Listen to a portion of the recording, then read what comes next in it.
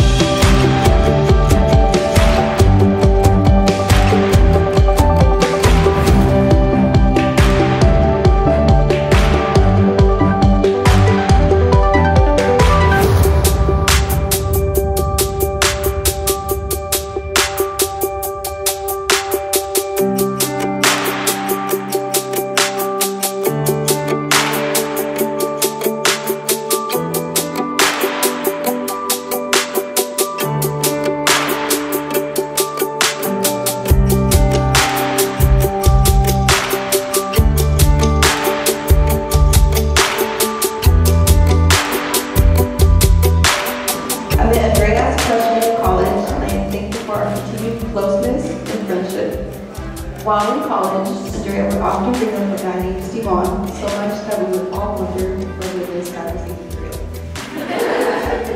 Fast forward to sophomore year, we finally get to meet the infamous Stevon. It was impossible to miss just how important he was to her and how much love they already had for each other. Marriage, they say, has its hardships, but know that you, your family and friends are here to guide you and support you through the good and bad times. I wish your marriage is filled with love, laughter, and happiness.